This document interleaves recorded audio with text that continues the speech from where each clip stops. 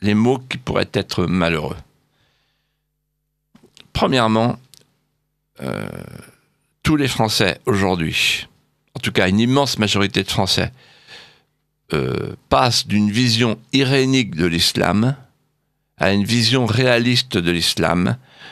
Bien sûr, tous ne comprennent pas, parce qu'ils ne l'ont pas lu, ce qu'il y a dans le Coran, le djihad, la charia, l'ouma, c'est-à-dire des notions qui sont absolument incompatibles avec notre civilisation occidentale, fondée sur la distinction du temporel et du spirituel, euh, comme chacun le sait.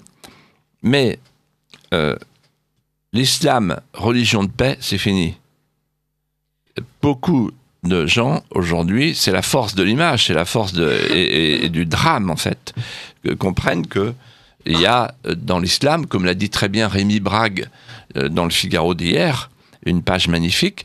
Il y a dans l'islam l'idée du djihad, c'est-à-dire l'idée de la conquête, l'idée du passage du dar à l'islam, la maison de l'islam, au dar el la maison de la guerre. Deuxièmement, l'Europe qui nous protège. Vous vous souvenez, l'Europe qui nous protège. J'ai entendu ça euh, pendant 40 ans. C'est fini.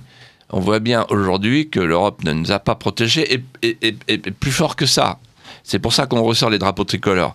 Ce qu'un peuple ne fait pas pour lui-même, aucun autre peuple ne le fera. Il n'y a pas de peuple européen, il n'y a pas d'Europe, ça n'existe pas. La Commission de Bruxelles, ça n'existe pas.